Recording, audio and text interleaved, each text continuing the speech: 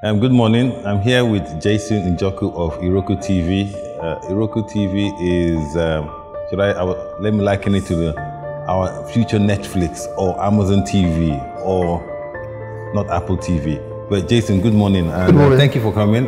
Thank you for having um, me. Iroko TV, um, you know, when I put on my Apple TV, how come I don't see, I mean, I'm beginning to see lots of different channels, HBO. When are we going to see Iroko TV on something like an Apple TV um, medium? So uh, probably never, actually. Um, our focus is on the base, the masses. Um, we are uh, download only, primarily. Um, we're Android first. Um, so the primary means now of accessing uh, Iroko TV here in Nigeria is via our Android app. Uh, more importantly, we're essentially in a very simple context, uh, taking Africa Magic and putting it on, on a mobile phone at a really sort of sort of affordable price and making it available for as many people as possible. Um, and that, that in itself is like a, a Herculean task um, that we have been really cranking at trying to figure out over the last few years, and we're still kind of work in progress on that. Okay, so uh, so let's some basics. How old is Iroko TV? What's your subscriber base, and how successful? Um, so, and what's your what's your target? We launched on the 1st of December 2011, so next week Tuesday makes us a four-year-old platform. Um, our subscriber base is overwhelmingly in the West, so um, it's a global platform. Largest markets being North America and Western Europe. Um, Nigeria is our largest market in, in, in Africa. We have tens of thousands of subscribers here. Um, but because of the nature of the subscription base, people typically don't have recurring billing, so they basically churn in and churn out. Our ambition is to be um, what we consider to be a tier one uh, um, subscription service in Africa. That's a 1 million subscribers. So our, our, ambition is to get to 1 million subscribers. It took uh, DSTV nine years to get there. Um, it took Netflix seven years to get there. It got took GoTV, I think it was about three and a half years to get there. We hope to get there within 10 years. So we're four years in. It'll probably take us another six years or so to get there. It's interesting, um, especially I'm a banker, so and things that interest me the subscriber base, um, the billing, and so like there light opportunity. But I think the bigger, I mean, the bigger opportunity is also for that industry. So with all this subscriber base, people willing to um, um, download, um, how come you haven't? So how come it's? They say it's difficult to get financing, and um, how are you going to solve that payment? Because to to um, to ensure the stickiness, you need to um, put a, a, sustainable payment platform onto that? Um... Yeah, so and I think firstly, um, you kind of have to go with what the consumers are currently using at the moment. Today it's a cash economy. Um, whether it's Star Times, DSTV, GoTV, uh, 70 80% of the subscription is still via cash. Someone walking into one of their point of sales and paying for something over the counter. That, that is basically how things are today. With that said, obviously, you know, there's lots of excitement around um, the different banking apps. Obviously, Diamond Bank just uh, just have like, has, has a beautiful app. Um, there's other kind of like mobile money services. You know, people can now sort of do transfers from bank, but it's essentially what people want to do, right? Uh, and you know, we, we spoke earlier off camera about the challenges of e-commerce or just internet things in Nigeria. It's difficult because you know, people still want to pay when they see something, when they get something. So, um, you know, our perspective is that we need sustainability in terms of the actual payment platforms. The biggest payment platforms or payment wallets are the, the MNOs, also the MTNs and the, uh, and the Etisalats and the, and the Airtels, etc. The challenge is they, they want to create their own version of Iroko TV, so they basically want to put us out of business. Um, and if they don't want to put us out of business, they want to collect their, their, their, their, tax for using their platform, which anywhere from sort of 60, 70, 80% um, of your revenues. Uh, so it's that's the challenge. No one that's the challenge that no one has solved. And I know like Konga have just basically built their own payment platform. They're still building that out you know, it's we talk to everybody, but we don't really see any solutions until there is like education in bringing people from the current reality, which is very cash based, to more of a kind of a cashless, more frictionless payment uh, uh, reality. I don't think you've been talking to the right bankers. Anyway, um, so I, am concerned about it, just like my own industry, I'm concerned about the sustainability of my business um, because my competition is not just local, it's global as well. Because payments is, um, I mean, there are many payment substitutes. And in your business, there are many entertainment substitutes, and you can access your content um, from different sources. And so, how do you? So, what are your driver value drivers? What uh, what do you see your value drivers into the future that will that will ensure that Iroko TV is still growing its customer base five years from today, and it still has a, a sustainable business model? Well, firstly, it's content. People don't care about Iroko TV; they, they care about the content. So our mission is really simple. We lead people to content they love. Um, in order to do that, you need to essentially wrap the content in a uh, in a digestible, in a in a sort of an education-like, non-intensive kind of manner, and make them access it. You know, I think today.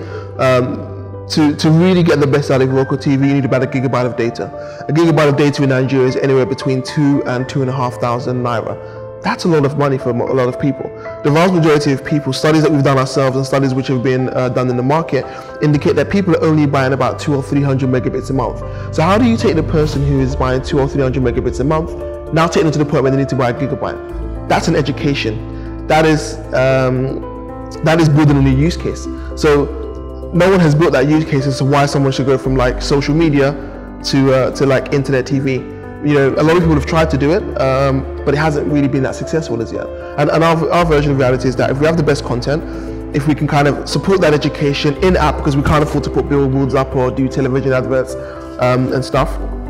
Um, we just build like the best user experience and then create tools which enable people to, to, to access content that much more affordable. Um, then then that's the only way we basically even be in the game. And for us, it's not about thriving; it's about surviving. So isn't that? I mean, so so what about collaboration? Because there's no way I see people who are going to buy 2,000 naira worth of um, data yep. just to watch Iroko TV when the other, I mean, when the other things, of course, now you have data um, that is uh, that is competing for different things. Sure. There's of course entertainment, there's work, there's, there's education. So um, collaboration comes to mind. Collaborating with the telcos, collaborating with, with even the device owners to come up with a value proposition. Um, and that's something that um, is that something that you're thinking of? So it's something we've been we've been desperately trying to do for the last um, four years. I think the challenge is with any kind of uh, corporate collaboration. Once once you put the corporate angle, that it starts to kind of mutate into really peculiar things where the bigger partner basically gets his own way. But of course. but but again, again, so it's you can't tell me that my life's work I must yield to you like if I'm gonna lie down, at least at least seduce me, at least make it feel at least make it feel like I'm like I'm wanted. Don't just tell me I must lie down. You know that remember say, do you want to be a big fish in a in a small pond or a small fish in a, in a, in a big ocean? But you know what? I yeah. think the key thing is that this is a market that we understand. This is a market we are pioneering in. And you know what? We believe it's like a 10, we, we, it's like a decade long um, um, journey. So there is no one person who's going to make or break Iroko today. So if someone comes with a bad deal, I'm not going to lie down. I'd rather just wait it out because at some point I will get I'll get big or small. Maybe the person on the seat will change, and there's a new breath of fresh air, and then maybe things can happen. So for us, it's not about having a partnership; it's about having the right partnership. And I think young companies, especially in Nigeria, should not feel bullied into to doing stupid deals because I've seen so many stupid deals. I think that's, that's a conversation for, for, for an offline. Well, last question. Um, I look at TV, well, um, uh, movies and music. And music has come a very long way in terms of the quality of Nigerian music. Um, I remember before when Nigerians were trying um, to copy Western um, um, artists and they were doing a bad job of it. Terrible job. They, terrible, terrible, terrible, job. And now, so so we're, we're, now internationalizing Nigerian music, and it's of course bringing a lot of fame and fortune for for our artists. But on the movie side, um, I still think we have a long way to go uh, in terms of the quality of the content. And so, um, are, we, are, we, going to see uh, a time when Iroko TV um, becomes like a Netflix, where you start actually producing content um, specifically specifically for Iroko TV to um, differentiate yourself from from everybody else? So on the first point, I would argue the complete opposite. Really? I would say with a, without a shadow of a doubt that in terms of like actual industry output and industry size, Nollywood dominates music. Yes. It's not again. It's it's not about there being one artist who's like a millionaire. That that's easy, but it's like can you raise a whole industry? Are there structures? Are there people in place to kind of like build whole industries? That doesn't exist. In music, it doesn't really exist. It's like one guy and a voice. It's like comedy. As long as if Basketmouth walked in and start talking, he'll make money. Same thing with but if you're like an art, if you're like a, a, a, um, a um, if it's a movie, you need other people. If it's a TV series, you need other people. So essentially, you build actual capacity. Um, again, if you if you look if you look at the cold hard facts, um, African Magic channels are more popular than any of the music channels on any of the networks in Africa. So again, if you look at if you look at um, DSTV, if you look at GoTV, if you look at Star Times, if you look at uh, Canal or any of the French-speaking African ones, um, if you look at the top five channels, there is a Nollywood channel in there. You know, I agree, but I mean, I, I, th- I think of the quality. So, like, let me ask a question: How many, how many Nigerian movies like are, they're great? I mean, there's volume. It's a volume business. It's like um, but great Bollywood. To who? Uzoma, Uzoma, great yeah, to who? yeah. So, and, and, and, and this is the thing. It's it's it's if you can get somebody, if you get the vast majority of people in Nigeria to sit down and watch something, it's good.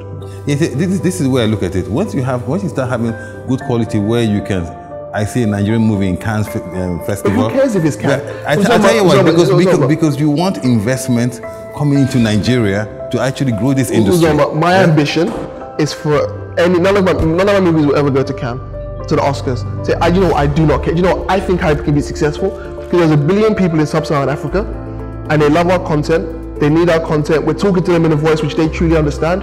We don't need some sort of like validation from someone in the West. I think if we need that, then there's something fundamentally wrong with us. Where's our confidence? So I, I actually reject that in Jesus' name. That we don't, we need that. And I think we'll end with an amen to that. Thank you very much, JT, for thanks showing so up. much.